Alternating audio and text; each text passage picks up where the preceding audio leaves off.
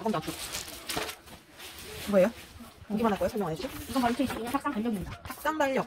이건 자, 2021년 끝났습니다. 이제 다음은 2022년인데 2022년 레이블랭이 달력 탁상 달력을 리뷰하려고 합니다. 여기 보시면 신차들이 많이 나와 있네요. 먼저 주동이 주동이 신도색이 나왔네요. 1호선 전용 2022년 현대로템 제작했네요. 뒤에는 어떤 그림이 있는지. 한번 뒤 그림 한번 볼까요? 뒤에는 역시 7,400호대 디젤 기관차가 또 이 유조객차를 끌고 있네요. 전쟁 높아, 옆을 지나는 화물 열차. 이민서 분이 이 다음은 2월입니다. 2월에는 역시 2년 전에 나왔던 2호선 박통이 있습니다. 그러니까 내년에 4호선 박통도 나올 거예요. 이 글씨가 잘 안 보이네. 누가 만든 거야? 2019년 현대로템이 만든 전동차네요. 한번 사진 한번 보실까요? 오, 옛날 생활로 객차가 있네요. 그 옆에는 7,600호대 디젤 기관차가 있는데 완전 눈이 많이 묻었네요. 다음은 3월입니다. 여기에 다우시스 2012년 다우시스가 제작한 3호선 신차 차량 한번 보실까요? 언제 나와? 아, 21년 써있는데. 아, 있어? 아마 지금 시험 내 중일 거예요. 음. 조금 있으면 운행할 것 같아요. 오, 이거 예쁘다. 사진은 7,400호대 디젤 기관차가 얼굴 보이고 그 뒤에 제출소가 있네요. 제철소는 어느 마을인지 알아? 근데 과- 제철소가 어- 우리나라 어느 마을에 있는지 알아? 어느 음. 지역에? 음. 어, 광양이나 저기 아 저기 좀맨 아래쪽. 어, 울산이나 근데 이름이 띄는 사람 멍탱이. 몽탱이님 몽탱이님이 너무 멋진 사진을 찍어주셨습니다. 다음은 4월입니다. 4월에 있는 전동차가 단, 당연히 2년 전에 현대로템이 만든 4호선 주둥이네요. 저희 집에 레디 플레이니스로도 나와 있거든요. 자, 사진 한번 보실까요?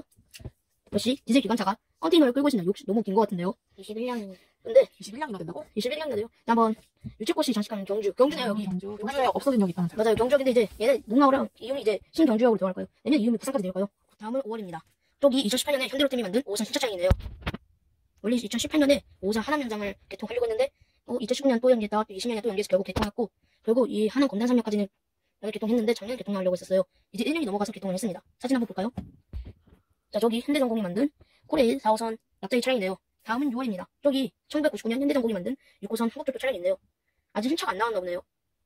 사진 한번 볼까요? 저기 정동, 정동진 바다 옆에 지나가는 KTX 인용 사진이 있네요.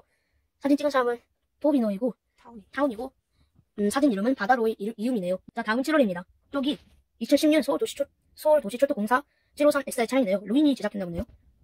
어, 이게 7월달이라서 7호선 전동차가 나온구나. 맞아요. 수도권 운전마다 어, 1월부터 1호선, 2호선 차례차례 나오는구나. 자 사진을 보니까 5, 월에 또 현대전공에서 현대전공에서 만든 4호선 납작이 있네요. 8월입니다. 진짜 신기한 열차 나왔습니다. 바로 이 부산 국제축구기술상업도에서 봤던 8호선 우지산전 차량이 나왔습니다. 2023년 예정이래요. 거의 뭐 2년이나 남았죠. 아직 한참 남았습니다. 2년? 1년? 2년이나 남았어요. 사진은 꼬마 열차의 여름 여행인데 꼬마 열차 보니까 화물 다른 게 많이 없네요. 가볍겠네. 7,600호대 디젤 기관차가 끌고 있네요. 어, 찍은 사람은 벚꽃 열차네요. 9월입니다. 9월에는 9호선 전동차가 있네요. 2012년 현대로템이 제작한 차량이네요.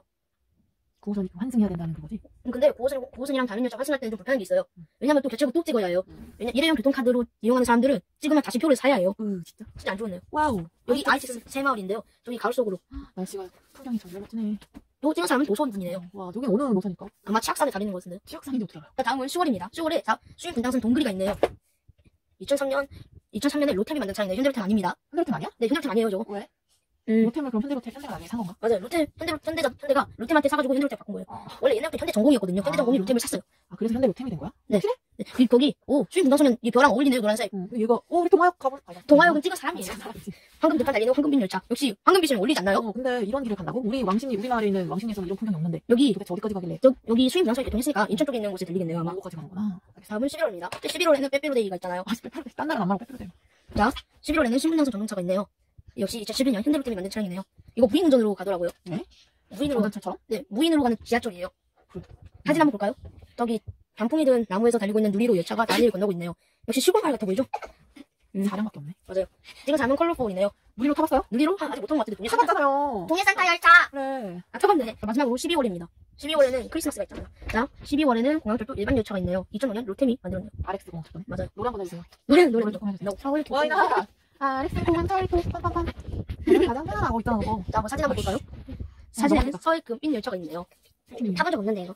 여기 장항선에 달리는 관광 열차예요. 이건 하루에 한 번? 두 번? 이게, 이게 사진 이름이 농구랑 피난 사우나인데요. 엄청 일찍 일어나야 돼. 이거 타려면 용산에 한 7시까지 가야 돼. 사우나 있는데. 그러니까 너네 사우나 할 줄 모르잖아. 왜 사우나 있어? 알아. 근데 조격도 할 거야. 여기, 온돌도 있고. 응. 저기 안에, 저 마지막으로 브로그 설명하겠습니다. 자, 저기 브로그로 추가 전개도, 미니 정, 미니 열차 전개도가 있어요. 우리 예전 작년 거에는 뭐 들어있어? 작년 거에는 작년에는 2호선 주식 쪽, 2호선 주식 쪽파랑 3호선 주식 쪽파가 있어요. 잠깐만요. 잠깐만요. 어디 어 디 2호선인데요? 이렇게 만들어줍니다. 좀 망가졌네요. 저기 책상. 그리고 또, 근데 왜 똑같, 우리 이거 왜 4호선이 다른 거 있지? 이거 몇 년도 거야? 이게 4호선 진짜 오래됐어요. 아니, 이게 몇 년 달력에 들어있던 거야? 2021년 달력이 들어있습니다. 이거는?